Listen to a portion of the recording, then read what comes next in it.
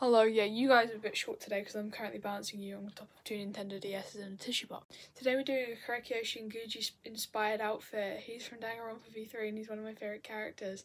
Although, um, I didn't have a sprite of him on my wall, but we won't, we'll ignore that. We're going to start with some green jeans that I have. Hang on, I'll go grab those. They look, do they look green? Yeah, they are green. They're, they're green.